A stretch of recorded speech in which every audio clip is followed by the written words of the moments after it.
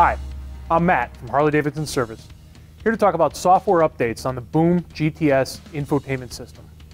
In addition to this video, remember to also use your Boom Owner's Manual and check the information on harley-davidson.com.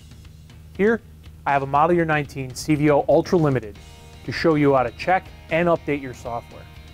From the home screen, we can check the software version on the radio. First, select Setup. Then, scroll down to System Information. Here, you can select Software to verify the software version currently in the radio. If you'd like to perform an update, download the update file to the USB drive. Once downloaded, install the USB drive into the bike.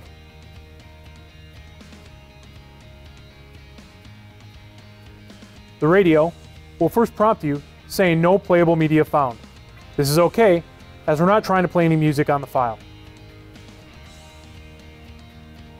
In this case, the USB drive contains the same software currently in the radio.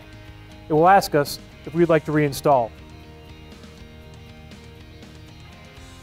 With the bike and accessory mode, we can now select Install Now to complete the software update.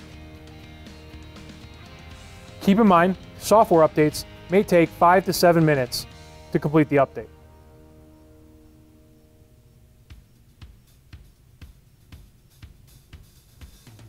The radio has now rebooted after completing the software update.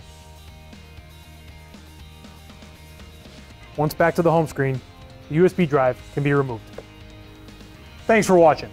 Make sure to subscribe to the channel, throw us a like, and we'll see you next time.